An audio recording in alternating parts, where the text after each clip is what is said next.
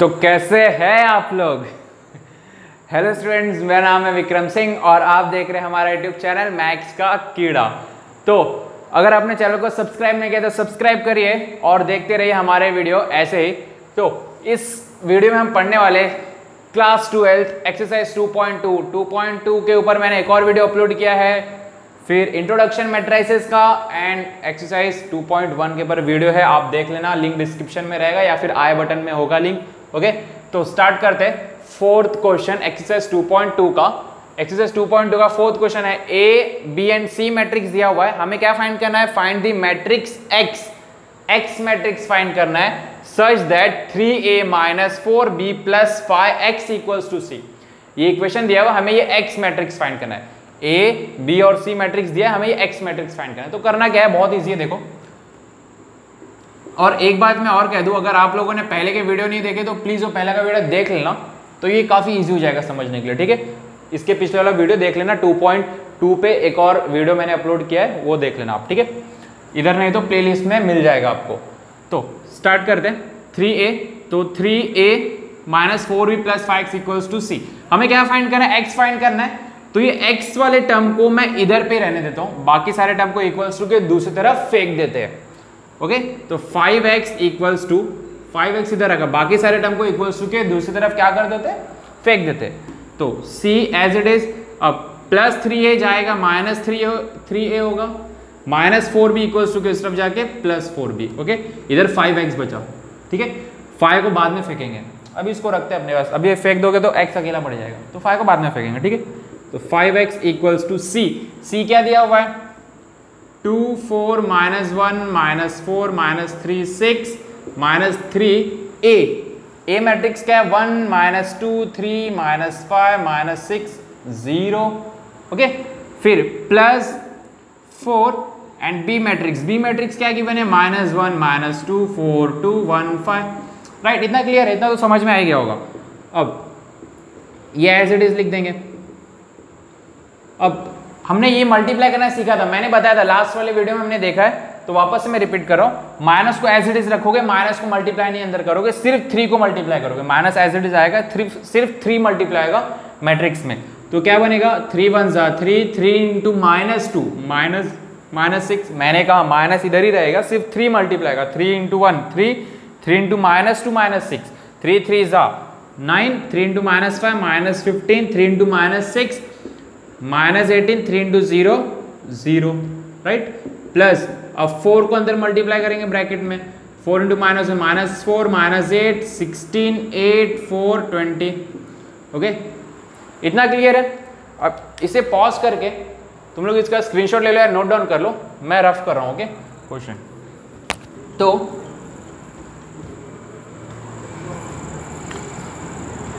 अभी और भी रफ करना पड़ेगा। तो क्या हम मिला five X equals to five X इधर है फाइव एक्स इक्वल्स टू भी सॉल्व करेंगे। कैसे सॉल्व करेंगे? ये भी सीखा है हमने। तो two minus three plus minus four corresponding values क्या होंगे? सारे करस्पॉन्डिंग वैल्यू सॉल्व होंगे। टू माइनस थ्री टू का करस्पॉन्डिंग थ्री ये तीनों करस्पॉन्डिंग होंगे ना? ये ये और ये। ठीक है? तो two minus three plus minus four, two minus three, plus minus four minus plus, इसके पास माइनस है ना, माइनस प्लस क्या हो जाएगा? माइनस हो जाएगा। मैं डायरेक्ट कर दे रहा हूँ, नहीं तो ऐसे बहुत लंबा स्टेप बढ़ जाएगा ओके नेक्स्ट नेक्स्ट ये पहला टर्म हो गया, अब आते हैं सेकेंड वाले पे। तो four minus four four minus minus six minus minus plus six okay now plus फिर minus eight plus minus minus eight समझ में? Okay now next minus one minus nine plus sixteen minus one minus nine plus sixteen next minus four minus देखो minus four फिर minus next minus fifteen minus minus plus fifteen right फिर plus eight अब आते third पे minus three minus minus eight, minus minus plus eighteen sorry eighteen है वो okay फिर plus four next six minus zero, plus twenty. इतना clear हुआ? अब क्या करेंगे? अब क्या करेंगे? अभी से रफ करेंगे ओके तो नोट डाउन करते जाओ हाँ। पूरा नोट डाउन करते जाओ स्टेप बाय स्टेप अब, क्या होगा? फाइव एक्स इक्वल्स टू अब देखो minus three minus three two minus three minus one minus one minus four minus five four plus six ten ten minus eight two four plus six ten ten minus eight two minus one minus nine minus ten minus ten plus sixteen minus ten plus sixteen कितना होगा? Six minus four plus fifteen minus four plus fifteen होगा eleven eleven plus eight nineteen okay minus three plus eighteen होगा fifteen plus four, ये भी nineteen. Six, ये zero क्या six plus ये twenty six. ये हमें क्या मिला? Five X. हमें क्या चाहिए? सिर्फ़ एक्स चाहिए ओके तो एक्स, फाइव देखो, एक्स के साथ मल्टीप्लाई तो इक्वल्स टू के दूसरी तरफ़ जाके डिवाइड होगा। डिवाइड होगा मतलब वो क्या बन जाएगा? One by five matrix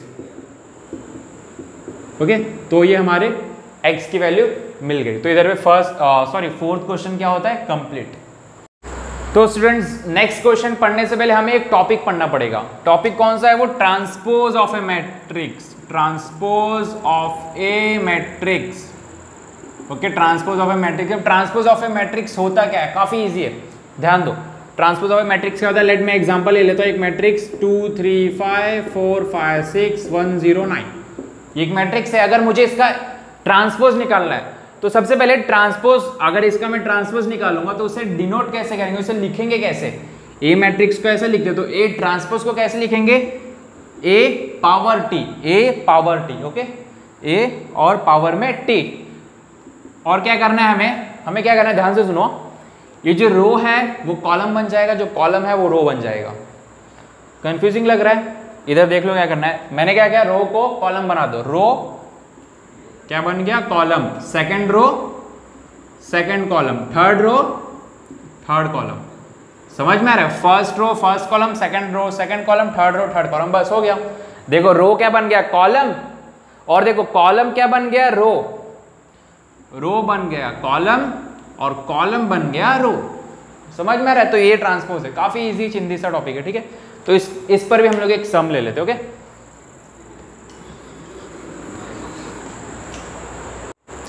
okay sir next question है question number fifth A matrix दिया, हमें क्या फाइंड करना है? ए ट्रांसपोज का ट्रांसपोज तो हमेशा एक चीज़ याद रखो ए ट्रांसपोज का ट्रांसपोज हमेशा एक इक्वल आएगा.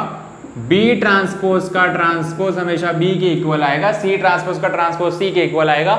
ऐसे जेड तक जाओ या कहीं पर भी जाओ, किसी चीज़ का ट्रांसपोज का ट्रांसपोज उस चीज़ के इक्वल आएगा. तो हमें पता है कि भाई ये सॉल्व करके वापस से यही मिलने वाला है. लेकिन क्या करें? सॉल्व तो करना ही पड़ेगा ना मार्क्स मिलेंगे नहीं नहीं तो। ठीक है? तो सॉल्व करते तो पहले क्या करते? पहले ए ट्रांसपोज निकाल लेते। हमें पहले क्वेश्चन देख के पता चल गया, हम लोग स्मार्ट है। क्वेश्चन देख के पता चल गया, भाई मिलेगा यही। लेकिन फिर भी करके दिखाना पड़ेगा ना टीचर टीचर चेक क्या करेगी और मार्क्स किस चीज़ का देगी? ओके?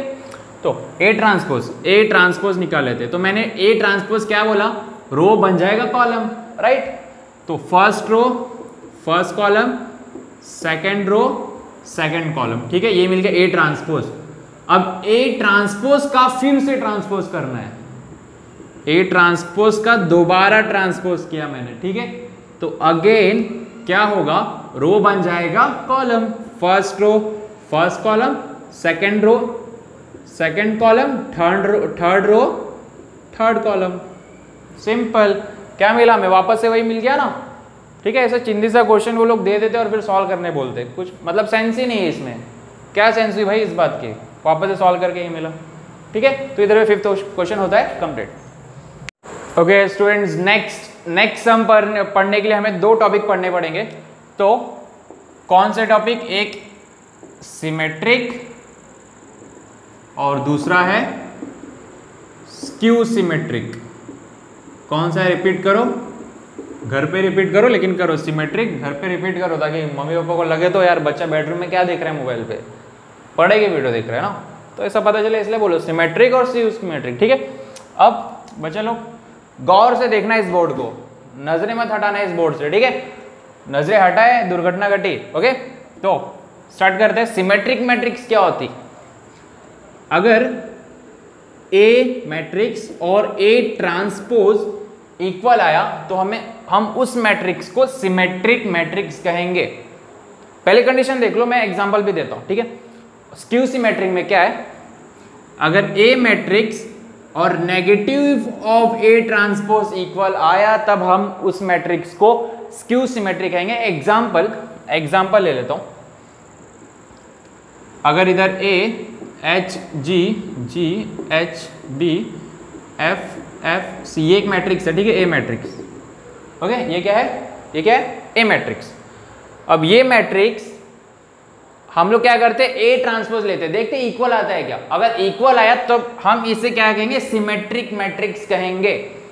तो ए ट्रांसपोज लेते हैं। मैं ए ट्रांसपोज लेता हूँ। चलो ए ट्रांसपोज ले लिया ए ट्रांसपोज हमने अभी सीखा था। क्या सीखा था बच्चों? वापस बोल रहा हूँ, घर पे बोलो, तभी मम्मी पापा को लग रहा है बच्चा पढ़ रहा है। नहीं तो डाउट करेंगे तुम्हारे ऊपर। ठीक है? तुम्हारे ऐसी हरकतें ही होंगे, इसलिए ऐसे नहीं करते। ठीक है? अब ए एच जी ठीक है? ए ट्रांसपोज ले रहे हैं ना ए ट्रांसपोज हमने क्या पढ़ा था? रो का कॉलम सेकंड रो का सेकंड कॉलम थर्ड रो का थर्ड कॉलम राइट ये दोनों इक्वल आए? आएगा इक्वल आए ना equal A equals to A transpose equal आए मतलब मैं क्या कह सकता हूँ, हमारा ए मैट्रिक्स क्या है? सिमेट्रिक मैट्रिक्स है। ओके इतना समझ में आ रहा है? अब एक उसका भी एग्जांपल ले लेते हैं हम लोग। ओके तो एक एग्जांपल ले लिया मैंने zero four minus one minus four zero five seven minus five zero ठीक है? अगर ये, अगर मैं ये निकालता हूँ ए ट्रांसपोज निकाल के उसका नेगेटिव लेता हूँ, तब भी ये मिला मुझे। तब मैं इस मैट्रिक्स को स्क्यू सिमेट्रिक दोनों डिफरेंस देख रहे हो ना? इसमें A equals to A transpose Q skew symmetric में A equals to minus A transpose simple सी बात है, ठीक है? तो मैं क्या करता हूँ सॉल्व करता हूँ, मैं इस इधर पे जगह बना लेता हूँ थोड़ा सा। तो क्या करता हूँ, पहले ए ट्रांसपोज निकालता हूँ ए ट्रांसपोज तो रो क्या बन जाएगा? Column second row second column third row third column अगर गधो, तुम लोगों को रो और कॉलम भी नहीं पता तो उसके लिए मैं मैं कुछ कर नहीं सकता, ठीक है? तुम लोग रो और कॉलम तो पता होना चाहिए रो होता है कॉलम होता है, ठीक है? और वो मैंने पहले बताया भी है पहले, ओके? तो अब ले लिए। अब नेगेटिव ले लेते हैं। नेगेटिव ले लेते हैं। माइनस इधर ही माइनस ये माइनस क्या होगा? सबके साथ मल्टीप्लाई होगा। राइट तो क्या बन जाएगा ये? इधर लेता हूँ ठीक है? माइनस ज़ीरो के साथ जाएगा तो ज़ीरो कुछ फ़र्क नहीं पड़ता भाई। लेना देना नहीं उससे माइनस आए प्लस आए कुछ आए ठीक है? तो माइनस माइनस प्लस फोर ये माइनस सेवन ये माइनस फोर फिर ज़ीरो के पास जाएगा zero minus minus plus five minus seven minus plus seven ये माइनस फाइव, ये ज़ीरो, ओके? ये और ये मैट्रिक्स इक्वल है क्या? ज़रा देखो ध्यान से, गौर से देखो, गौर से। है ना इक्वल? आए ना इक्वल? मतलब ए हमें क्या मिला? किसके इक्वल मिला? माइनस ए ट्रांसपोज के मिला। मतलब मैं इस मैट्रिक्स को स्क्यू सिमेट्रिक मैट्रिक्स कह सकता हूँ, ठीक है?